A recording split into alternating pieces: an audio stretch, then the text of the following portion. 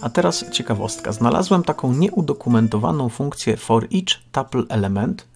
Już wyjaśniam. Jeżeli znacie lambdy, wyjaśnienie będzie miało sens. Jeżeli nie, możecie tę funkcję ominąć, chociaż jest w sumie fajna, e, i pójść sobie dalej, a jak już kiedyś dojdziemy do lambd, funkcji anonimowych, czy jak to tam nazywać, to wtedy będzie ta linijka tutaj jasna. Dla każdego elementu tuple, tutaj mam krotkę T7, co robię? Odpalam lambdę i tutaj w tej lambdzie tworzę sobie, o proszę, taki typ auto i element e i ta anonimowa funkcja, ona nie ma nazwy, dlatego anonimowa, będzie wyświetlała element e. Ale skąd będzie brała ten e? Ano tym e będą się stawać poprzez referencję kolejne elementy z tej krotki T7. Zatem można by tak po polskiemu powiedzieć mniej więcej tak.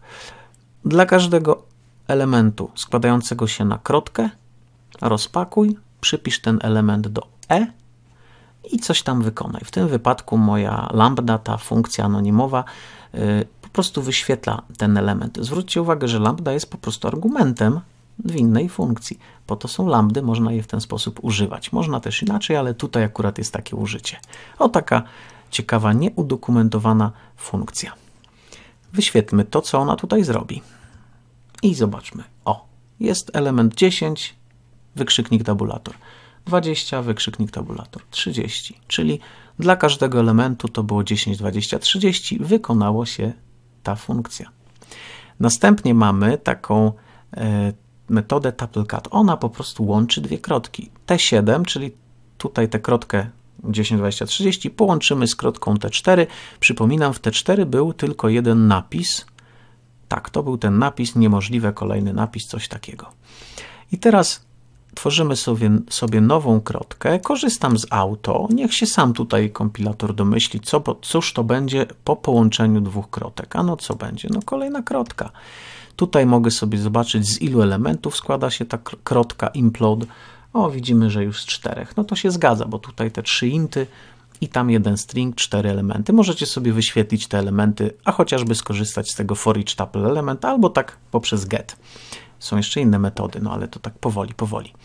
E, moja printSTL też wyświetla już e, krotki, ale to sobie będziecie mogli zobaczyć już oddzielnie w pliku H, e, numbers H, który gdzieś tam umieszczę w źródłach, ale to też wytłumaczę troszkę później. Jeżeli na razie ktoś nie będzie rozumiał, jak to się dzieje, że tam tą krotkę tutaj sobie wyświetlę, o chociażby tak o.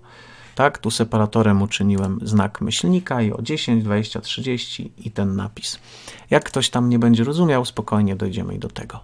To jeszcze przykład, że można krotki zagnieździć, zobaczcie, czyli coś tak jak było z parami, że to nie muszą być tylko takie proste wartości. W krotce mogą być całkiem zawiłe elementy grupowane. Tak na marginesie, jakbyś tak zastanowić, po co taka krotka, no to właśnie jest to taki porządkujący, fajny element, bo czasami możemy przeczytać na przykład jakąś linię z bazy danych, jakiś taki rekord.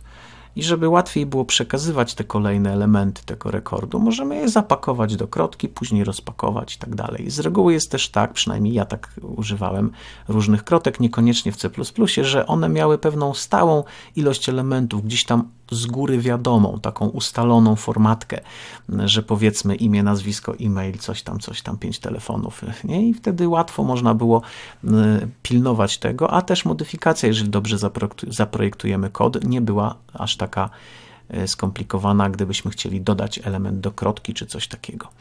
Mamy więc dalej taki oto przykład. A właśnie, zagnieżdżenie. Zobaczcie, pierwszym elementem jest liczba całkowita, a potem jest krotka w krotce. Jak się do czegoś takiego odwołać, chociażby za pomocą get? A no bardzo łatwo, o zobaczcie. Get 1, a w nawiasie znowu get 1, no bo elementem e, get 1 jest kolejna krotka, a krotkę czyta się w ten sposób, więc wszystko się zgadza. I tutaj mamy wewnątrz jeszcze tę krotkę t int, no bo właśnie ta krotka cała, no to reprezentowana jest tą zmienną t int. I tutaj ją właśnie czytam. E, jedźmy dalej. Tutaj, a właśnie, pamiętacie jak mieliśmy pary i można było pominąć podawanie o tutaj tych elementów.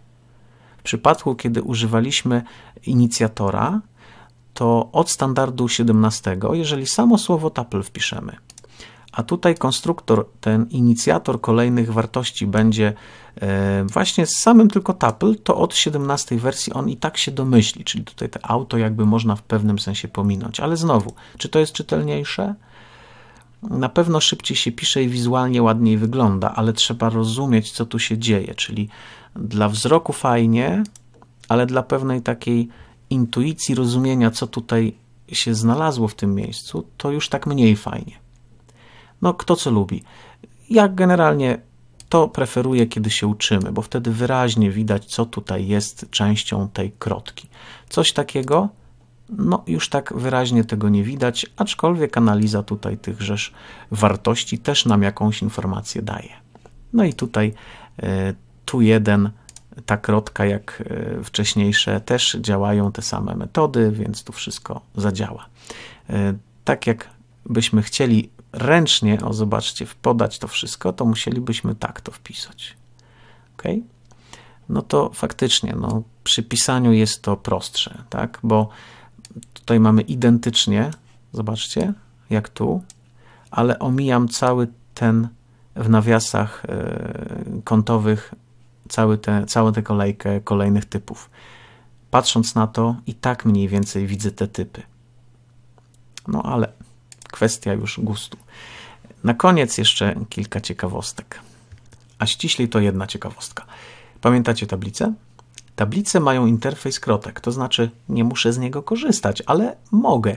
Co to znaczy, że mają ten interfejs krotek? To znaczy, że te metody, które obsługują krotkę, obsłużą spokojnie tablicę, o chociażby tuple size v, która e, powie, ile e, krotka ma elementów składowych, to tutaj, kiedy użyję array'a zamiast e, tego typu krotki, to on mi powie, ile ten typ ma elementów. No tu powie 10, to akurat widzę.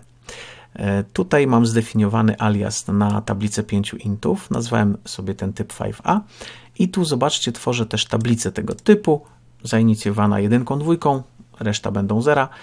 I proszę, tuple size v powie mi z ilu elementów składa się ten, e, ten typ z pięciu, a tu mogę sobie getem pobrać pierwszy element z tab 2, zobaczmy.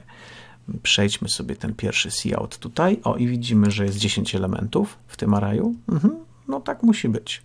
Następnie, o, wyświetlimy sobie ileż to elementów ma 5a.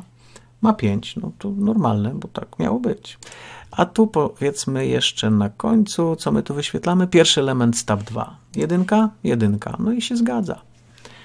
Tyle o krotkach. Jeszcze do tego tematu będziemy wracać, coś tam poszerzać, gdzieś to się będzie troszkę przeplatać. Na razie chcę pokazać pewne elementy, które gdzieś występują, jak choćby ta para czy krotka, czy później y, jeszcze omówimy sobie kolejne kontenery, jak chociażby wektor. Takie może się zrodzić też pytanie, po co ta krotka y, czy ta para?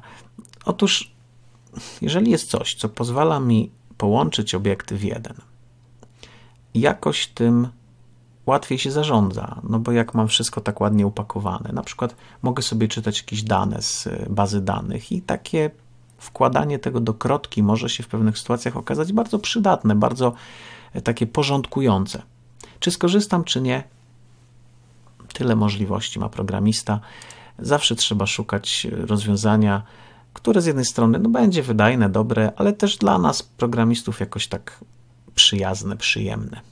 Trzeba się rozwijać, wiadomo, ale też tu i teraz też rozwiązać problem. Jeżeli krotka pomoże, no to bierzmy krotkę. Nie wiem, czy to powiedziałem, do, dopowiadam. Krotka nie pozwala na iterowanie po elementach. Yy, dlatego właśnie tutaj, zobaczcie, jak mam ten get, o, to ten indeks nie może być obliczany w czasie wykonania, tylko musi być stały, znany już przy kompilacji. Dlatego tutaj no nie da rady wstawić jakiejś zmiennej. Możecie to sobie zobaczyć i kompilator nie pozwoli na to. Tutaj musi to być element stały. Dlatego jeżeli chcielibyśmy przechodzić przez kolejne elementy krotki, musielibyśmy korzystać z trochę bardziej zaawansowanych mechanik. Na pewno getem y, i zmienną jakąś i pętli for chociażby, tego po prostu nie zrobicie. Nie próbujcie, jeżeli ktoś tam pomyślał, o po co on tak wyświetla, to ja sobie tu forem wezmę, tu od i0 do 3, tam nie, nie, nie pójdzie. Trzeba to zrobić troszeczkę inaczej. Tyle o krotkach na razie.